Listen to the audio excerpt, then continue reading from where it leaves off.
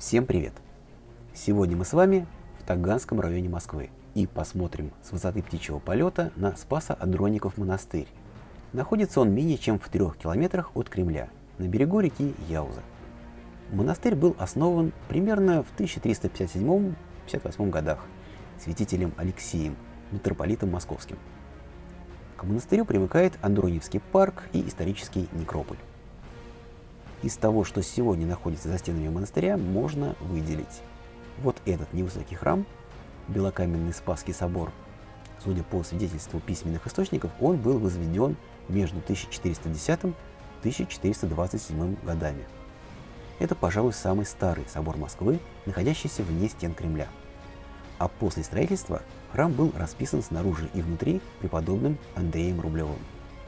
Далее, храм Архангела Михаила – это самое высокое здание в монастыре. Начали его возводить в 1691 году, а закончили аж в 1739. В 1504-1506 годах была построена большая трапезная, которая примыкает к храму. Здание розового цвета – это братский корпус. Также на территории мы найдем здание бывшего духовного училища, где ныне разместились музейные отделы и реставрационные мастерские – также святые ворота с церковью Рождества Богородицы, а рядом построены настоятельские покои. Ну и последнее – галерея «Трапезная Хлебный дом», современный ресторан на территории древнего монастырского комплекса, как памятник тому, что все покупается и продается. Ну давайте оставим историю с коммерческой деятельностью прокуратуре. А теперь о том, что снесено на территории. В начале 30-х годов была взорвана колокольня, а также разобрали стену с юго-западного и северо-восточного угла, включая башни.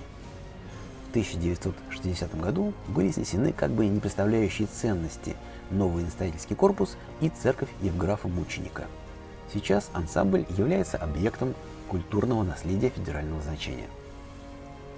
В 1918 году из монастыря были изгнаны монахи, а в жилых и хозяйственных постройках был оборудован лагерь для пленных белогвардейцев. Монастырское кладбище находилось в запустении, однако существенных разрушений там не было. Лагерь с территории монастыря был выведен в 1922 году, а здания обители, кроме храмов, были переданы под общежитие рабочих завода «Серп и молот». Здесь возник так называемый поселок имени Калинина. С 1924 года начался процесс постепенного уничтожения монастырского кладбища, сопровождавшийся разборкой стен монастыря – тем не менее, часть высокохудожественных надгробий все же удалось сохранить. В 30-х годах в обители располагалась колония беспризорных детей. В 1940-х, 50-х большинство зданий использовались как жилые дома. Далее, в 1950-х годах, было выстроено новое восточное прясло стены, сократив площадь монастыря. Стена отрезала значительную часть кладбища от основной территории.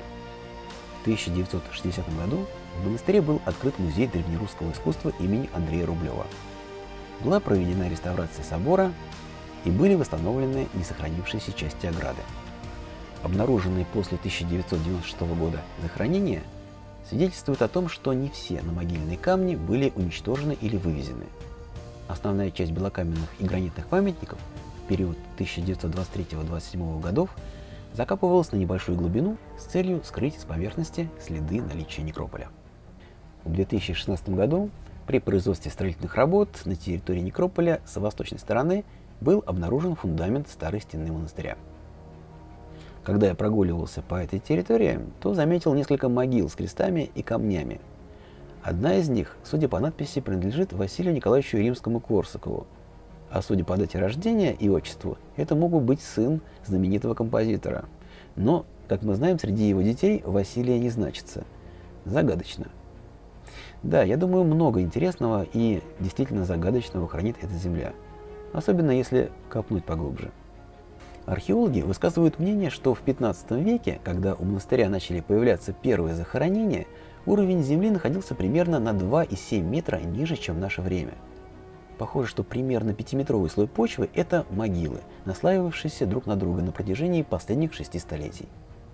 Сейчас территория некрополя утверждена и получила статус объекта культурного наследия регионального значения. Ну а в качестве бонуса покажу Дом культуры завода «Серп и молот». Слышал мнение, что Дом культуры находится как раз на территории некрополя монастыря.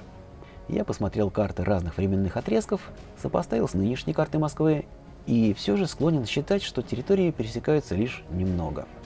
А основное здание Дома культуры стоит все-таки далековато от территории кладбища. Сейчас дворец культуры Серп и Молот в совершенно заброшенном состоянии. Но, по крайней мере, еще не превращен в руины, как сам завод. Надолго ли? Тут есть два корпуса – клубно-спортивный и театральный. Первоначально были соединены переходами на столбах. Вот перед нами театральный зал с фойе. А прямо перед нами длинный изогнутый козырек над главным входом. Дворец культуры перестраивался в 1950-х годах. Тогда у него появились неоклассицистические детали на фасадах, рустовка и лепнина в интерьерах. А техническая библиотека Дворца культуры была одной из лучших в Москве. В 1980-х годах ДК пережил второй рассвет. Это была одна из самых популярных рок-площадок Москвы. С 1993 по 2002 год там был открыт широко известный в узких кругах гей-клуб «Шанс». В середине 2000-х годов в ДК началась реконструкция по неизвестному проекту. Были практически демонтированы интерьеры зрительного зала, вестибюля, заменена кровля. Затем работы были заморожены, и до сих пор перспективы дворца не ясны. Как вы считаете, может на это повлияли его последние хозяева? На этом позволю себе закончить сегодняшний рассказ.